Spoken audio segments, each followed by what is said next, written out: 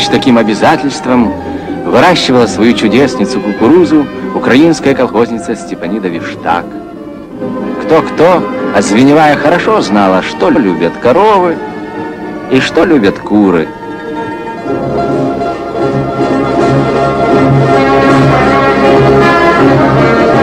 Людям колхозной земли посылала страна самую передовую технику.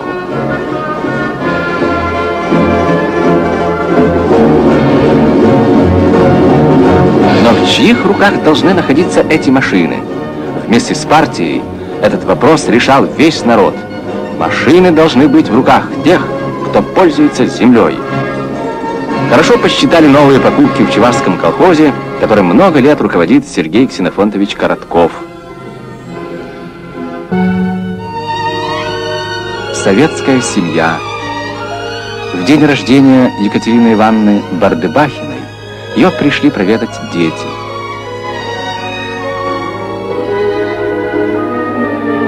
Старший сын Иван. Он работает мастером на автозаводе имени Лихачева. Сын Николай. Шофер-испытатель на том же заводе.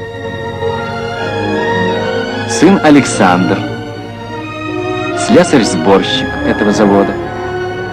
Сын Петр. Слесарь-кузовщик на этом заводе. Спокойно и счастливы в нашей стране старые люди. Именно в эти три года произошло одно из самых гуманных событий.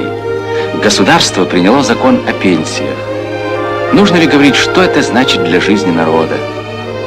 Прокофий Николаевич Раков – один из тех, кто ушел на заслуженный отдых.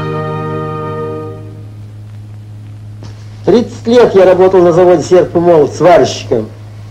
За мою работу партия и правительство наградило меня орденом Ленина, орденом Трудового Красного Знамени. Сейчас я ушел на отдых.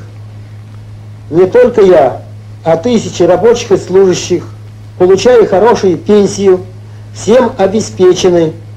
Стоит добавить, совсем недавно Прокофий Николаевич получил новую квартиру.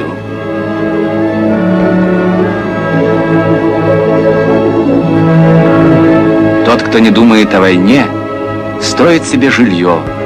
Сколько новых городов, поселков, жилых домов, клубов, больниц и школ поднялось на нашей земле за это время. Только за один прошлый год 68 миллионов квадратных метров жилой площади, а за 7 ближайших лет около 15 миллионов квартир. Каждый день из своей новой квартиры выходит на работу семья мастера Халила Аршанского металлургического комбината Толкачева. И счастливы те, кто связывал свою жизнь с высоким званием члена коммунистической партии. В эти дни большая группа московских рабочих получала партийные билеты.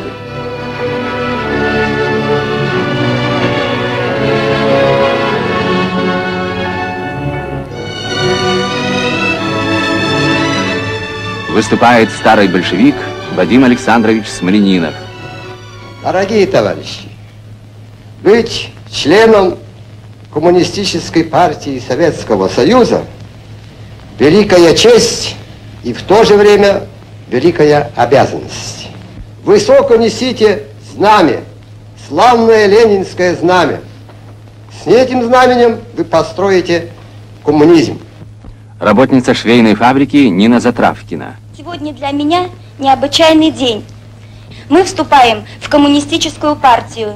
И мне хочется от имени всех присутствующих горячо поблагодарить родную коммунистическую партию, ее центральный комитет и заверить, что воспитанники ленинского комсомола, а теперь члены партии, отдадут все свои силы на благо Родины. Дети продолжают революционные традиции своих отцов. Депо «Москва сортировочная». Здесь в майские дни 1919 года состоялся первый коммунистический субботник. И здесь, в наши дни, родилась одна из первых бригад коммунистического труда.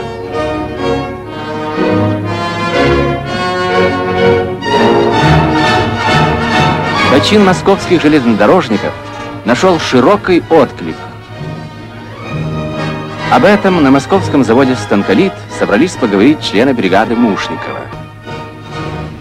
Товарищи, вы все, наверное, читали в газетах, слышали по радио о том, что сейчас по всей стране проходит широкая волна такого почина по организации бригад коммунистического труда. И как вы посмотрите, если мы заявим себя в цехе именно вот такой бригады коммунистического труда? У нас для этого данные все есть. Как правильно. Да, да, да. Вот примерно такой пункт. Сменные задания выполнять на 110%. Ну, я Как вы? предлагаю, думаю, что можно выполнять 8-часовую программу за 7 часов.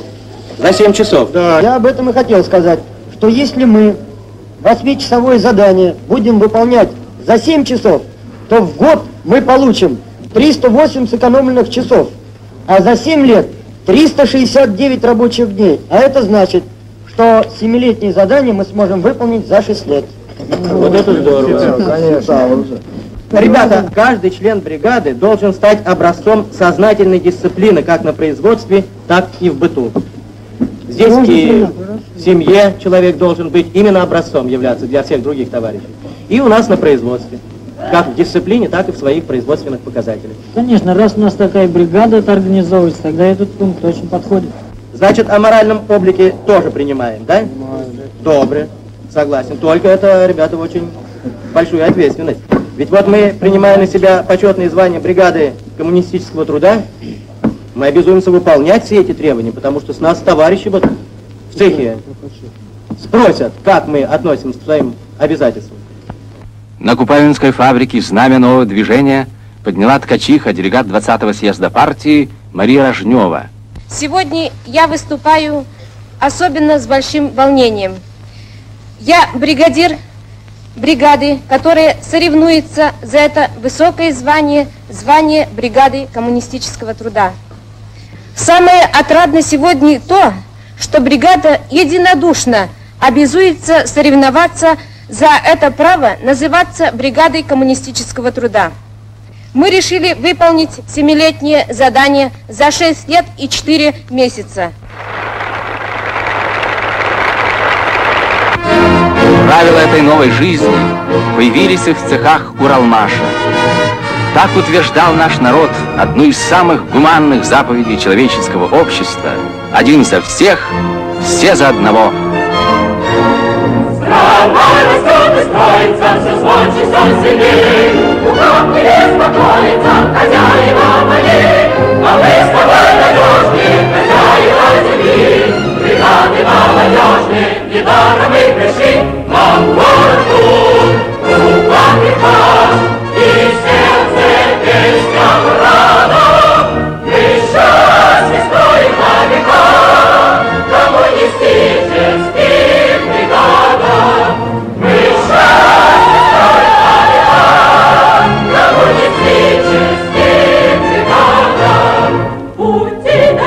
Everything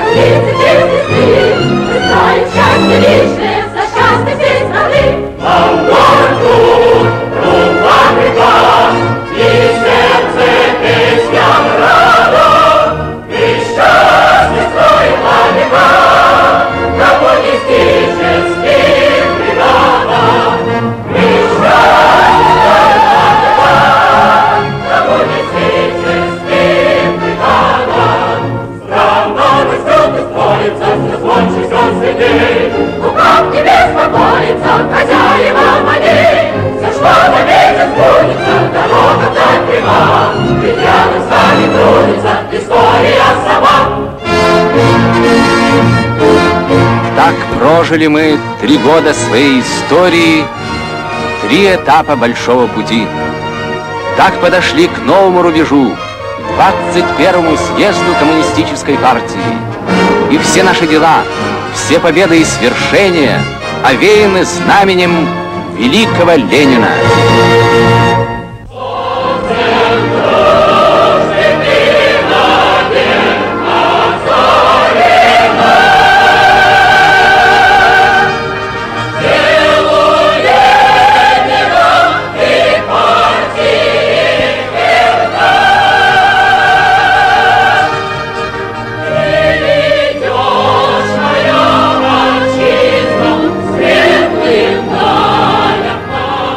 Родной наш Ильич. Мы донесем твое победное знамя до самых вершин коммунизма.